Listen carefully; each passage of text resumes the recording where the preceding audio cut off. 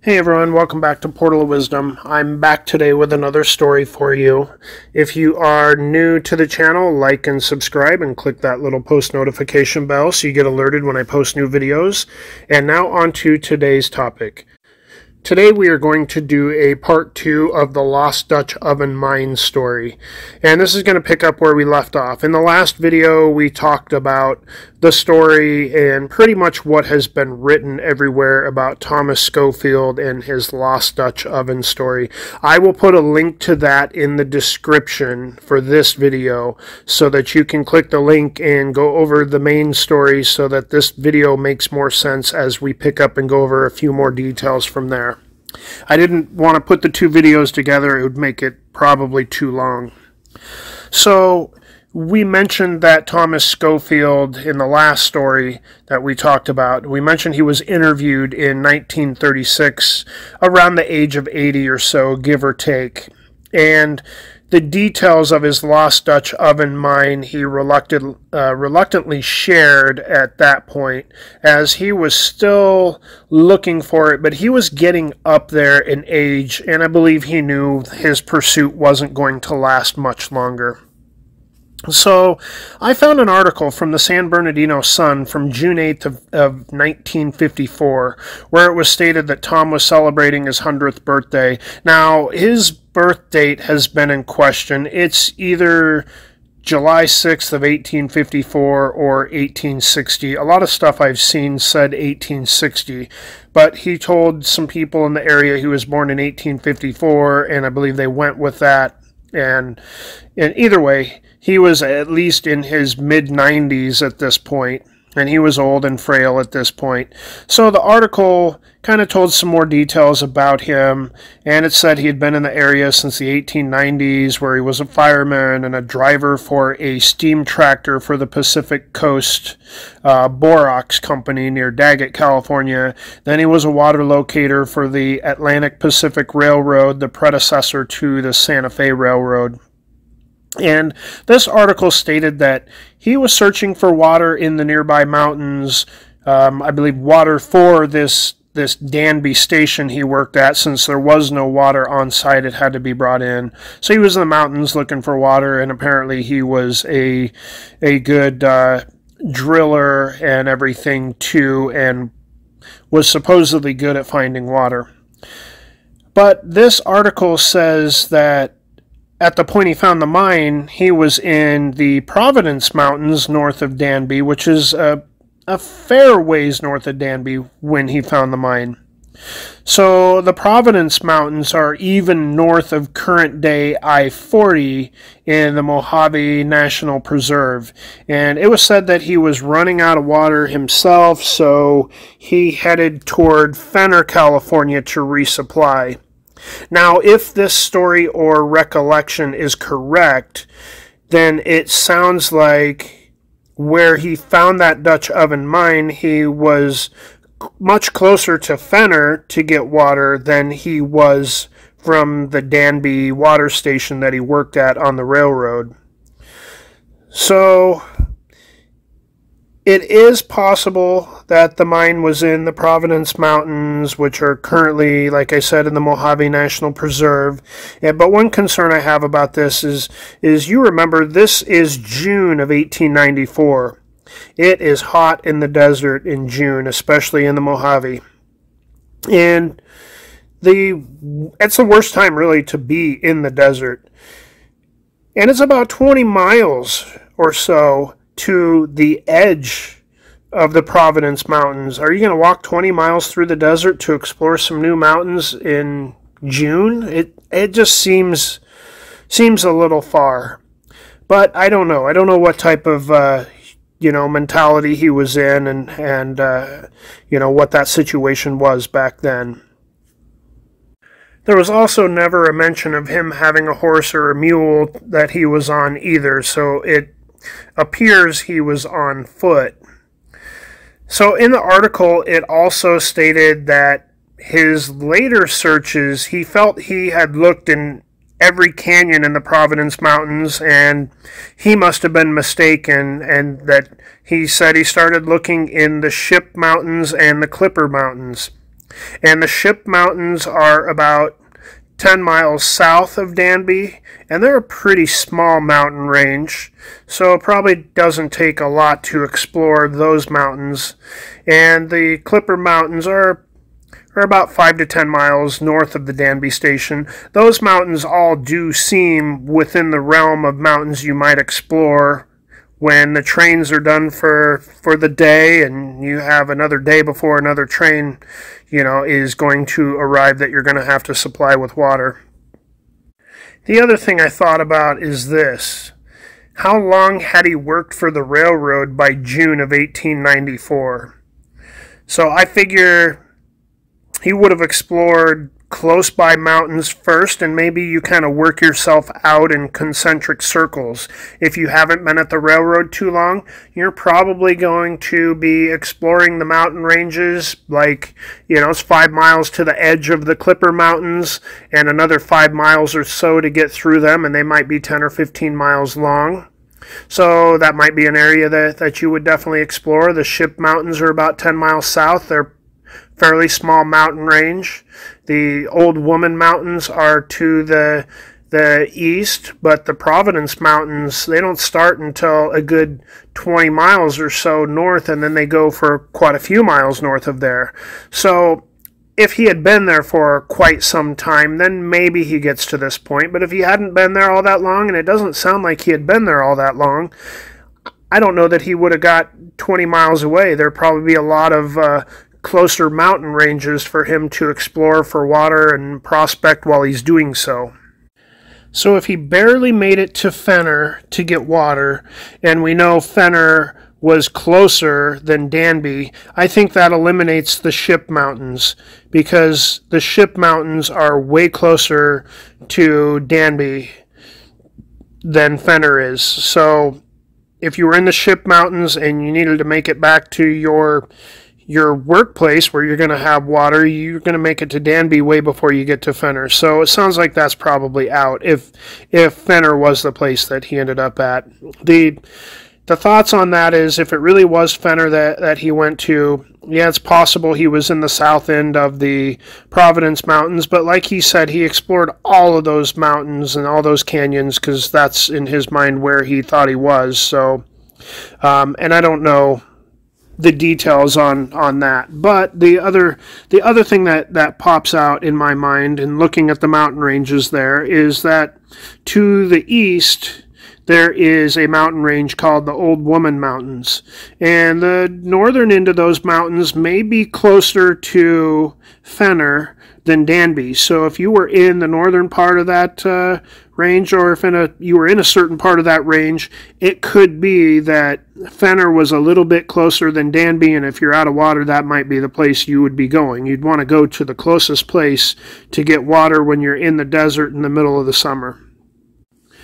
So I did find an article from 1941 in a magazine that told the story and it mentions the Old Woman Mountains too when it comes to this story.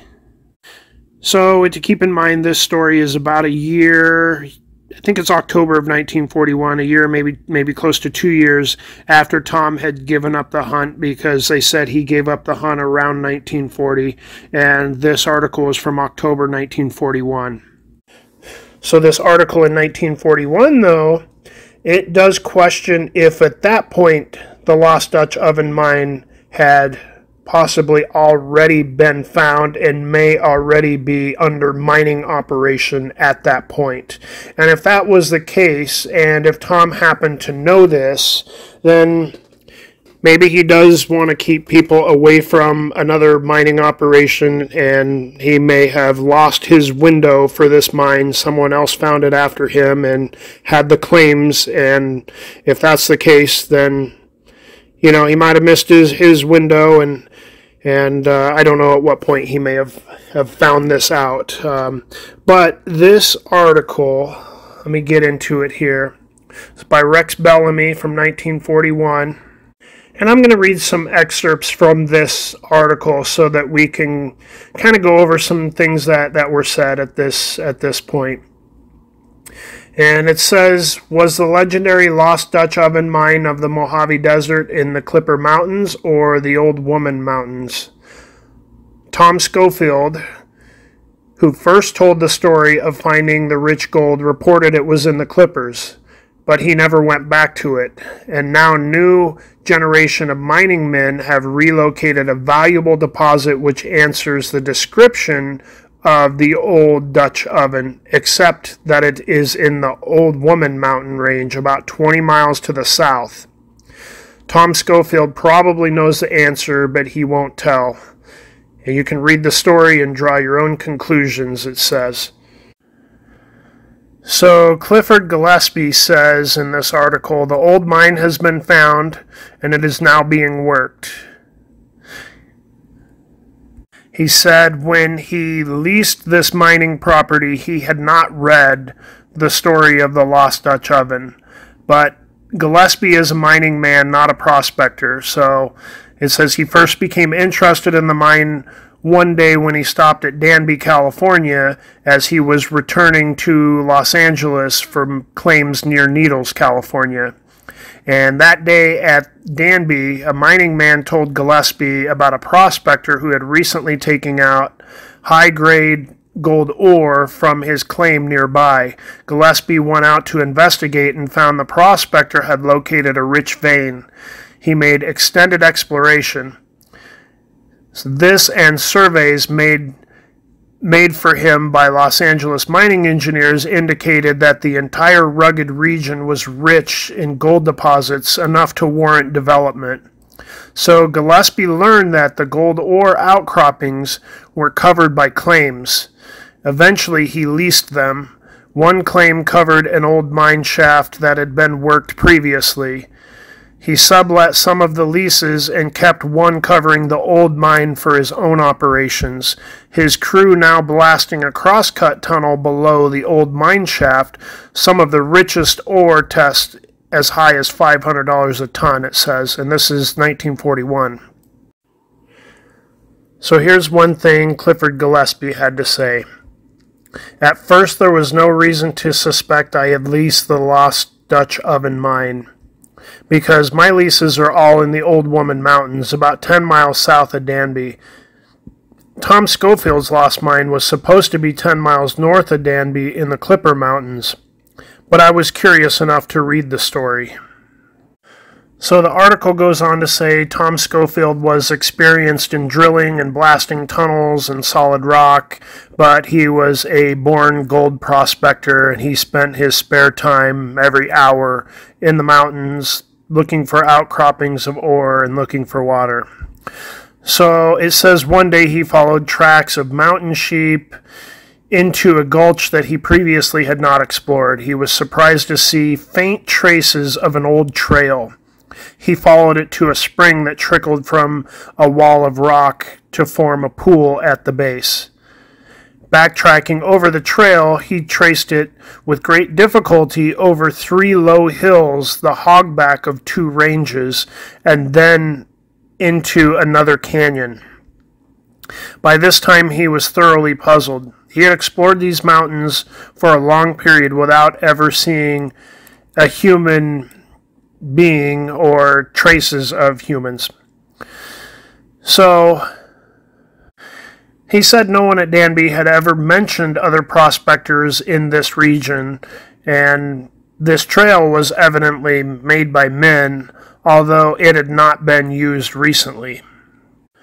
The story goes on to say that Tom said that the trail finally appeared to end in a blank wall. But desert trails do not end that way, so he carefully retraced his steps and discovered faint traces of a path that led up a steep hillside. Here he came to a solid rock, and the trail was no longer visible. He curiously impelled him to go on towards two upright rocks, a cleft in the side of the mountain. The passageway between them was barely wide enough for a pack animal to go through. And it doesn't say if he had a pack animal or if that was just his his thoughts. So beyond he picked up the trail again and it led toward a black mass of rock, like an immense boulder. It was a conspicuous landmark.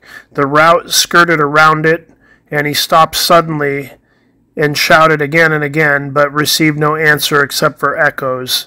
Says there before him was an old camp. Tent poles were still standing, with shreds of canvas flapping in the breeze. Uh, a bed of boughs was covered with a tattered blanket, and a small pile of railroad ties lay at one side, some of them split into lagging for timbering a mine. Said nearby, of course, were mining tools, drills, axes, picks, shovels, heavy hammers, all rusted from the weather and disuse. Still resting over a fireplace of blackened boulders was a rather large iron Dutch oven, such as miners use to bake their sourdough bread, fry their bacon, and sometimes for roasting out of high grade ore. Tom scrutinized everything carefully, but he could find no clues to the owners nor why and when they had left. So Tom said he followed a trail that led away from the abandoned camp and it went up the mountainside perilously close to sheer drops of hundreds of feet. And the crudely made trail led him over loose slipping rocks to a shaft on the steep slope, undoubtedly the mine belonging to the owners of the abandoned camp. So it said at this point, of course, Tom wanted to see if this mine shaft was just a dead end thing and it didn't produce anything or whether it was a once in a lifetime find. And so he crushed some of the ore and he panned out some rich findings of gold and he knew it was a rich gold vein. It wasn't just a dead end mine site that was abandoned for not being worth mining.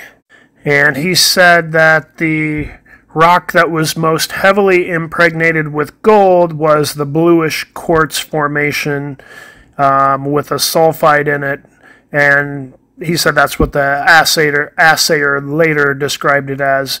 And Tom, when he was there, he worked feverishly in the sun, and the sun went down rather fast, and he was forced to spend the night there. So he came down to the abandoned camp and he spent the night there. So it said at daybreak he made some further exploration of this location and he noted that the shaft was well timbered and it was at its top, uh, it had split railroad ties, and a windlass was was still rigged with a rope and bucket. And he lowered the bucket to estimate the depth of the shaft, and then compared the depth with the size of the pile of ore on the dump next to the mine.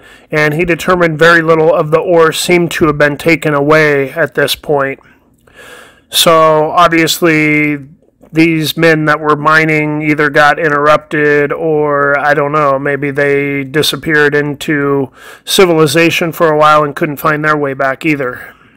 So this story states, of course, he filled his pockets with gold. He was hungry and thirsty. He lifted his cam- canteen to take a drink. It was drained.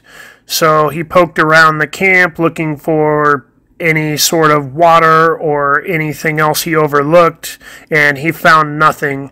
And upset, he kicked off the lid of the Dutch oven, and instead of food, he saw gold.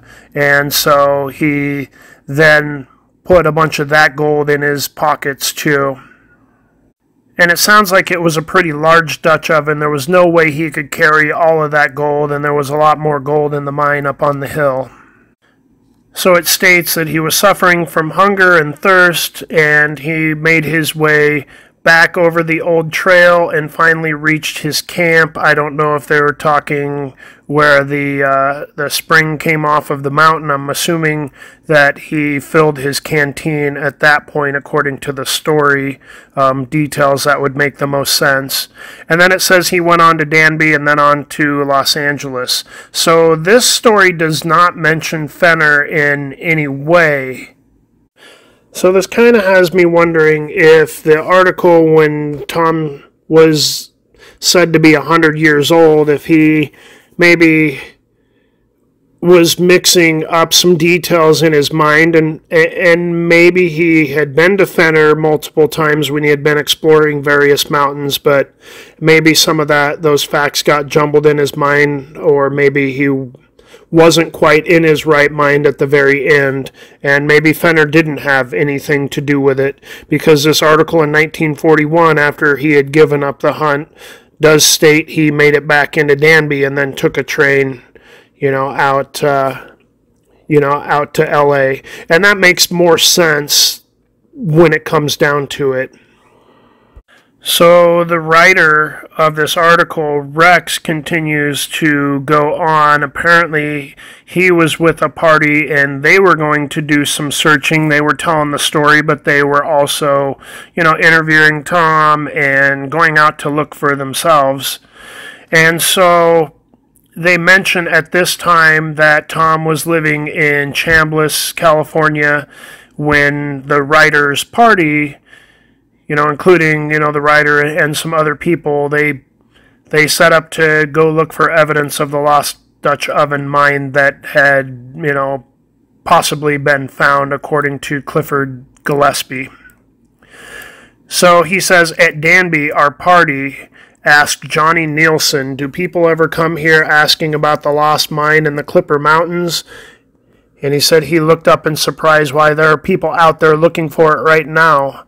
They've been coming here over, ever since I arrived here over 16 years ago. So Johnny Nielsen, it says at that point, he owned a combination store, filling station, and auto camp on the highway. I believe this is on Route 66. So he says, the writer says, from his place, we drove a short distance south to the old Danby station on the Santa Fe. And just a few shacks splotching the desert between the Old Woman Mountains and the Clipper Mountains were what was there. So we took a rough miner's road off southward. From this, we branched off into the foothills of the Old Woman Range. Stopping at the mouth of a canyon, we followed footprints of mountain sheep for a few hundred yards to a spring seeping from the rocky wall into a drinking pool.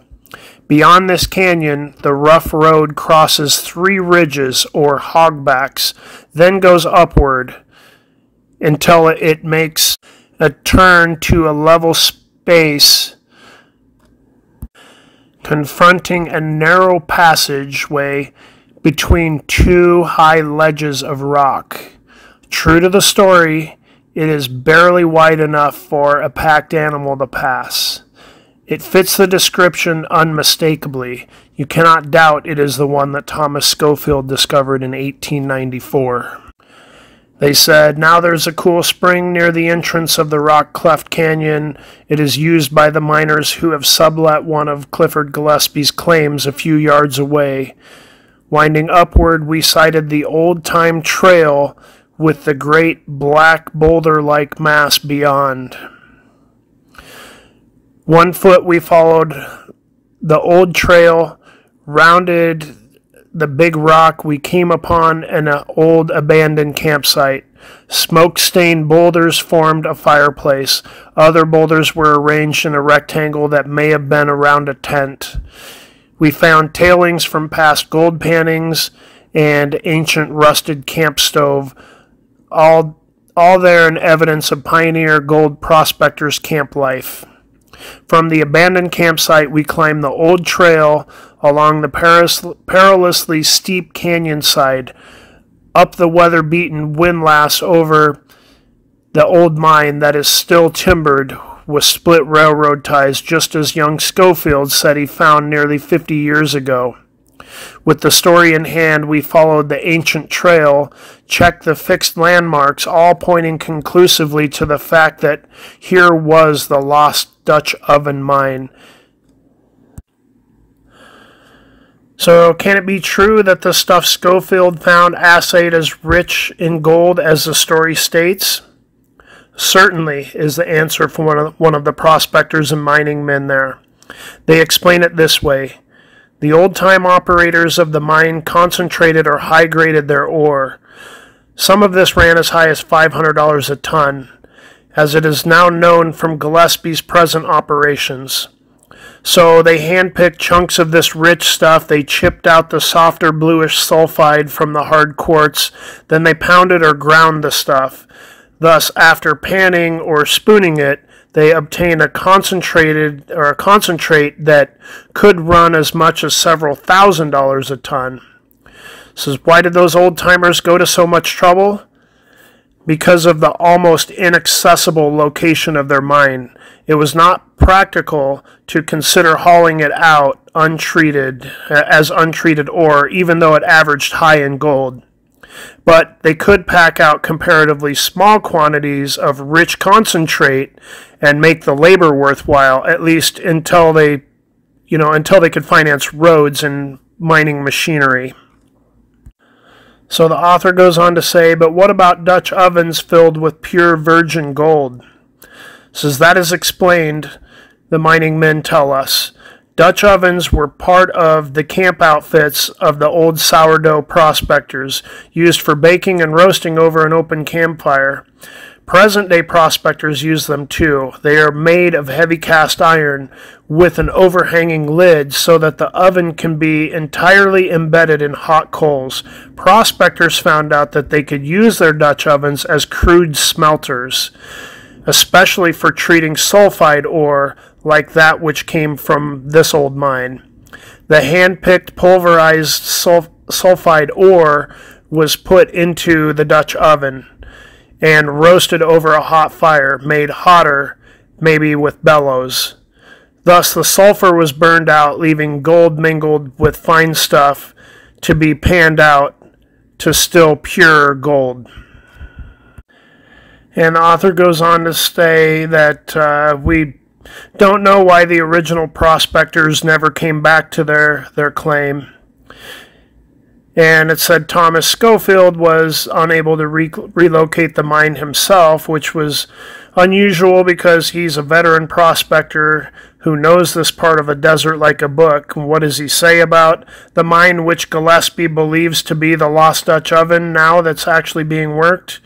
And they said Tom was non-committal. He never gives direct answers to questions about the lost mine. He talks freely, but never discusses location nor details except to say that the amount of gold he took from the Dutch oven has been greatly exaggerated in the retelling of the story.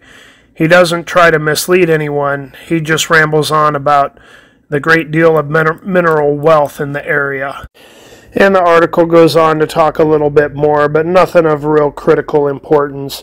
The ultimate thing I get out of the article is it sounds like the Lost Dutch Oven mine was found and was being mined by Clifford Gillespie, and it sounds like all of these very unique details on the trail to the mine are details that match up with with Gillespie's mine, and and maybe at some point Thomas Schofield found this out and and maybe that's when he quit looking for it or steered people in a different direction as not to bother looking in the correct mountains and and bother Mr. Gillespie and his claims. We don't really know for sure. But according to this article, it sure does sound like the the lost Dutch oven mine was actually found. And I know there have been people out there looking for it, and you know, in a lot of different uh, mountain ranges around Danby. But I don't know what, what your thoughts are on this. But this was a 1941 article, late 1941. Once once Thomas Schofield had quit looking, although he didn't really give a lot of details that, yes, it's been found or whatever, but that's when Mr. Gillespie came into the picture and the author of this article went on this excursion and basically said that everything seemed to match up and it was being mined. So, anyhow, I guess that might be the real end to the lost Dutch oven mine. It's still been a fascinating story, but it may have got mined out. I don't know. It's in a pretty desolate area, so I, I don't know what's going on there today. So like and subscribe if you like these kind of stories.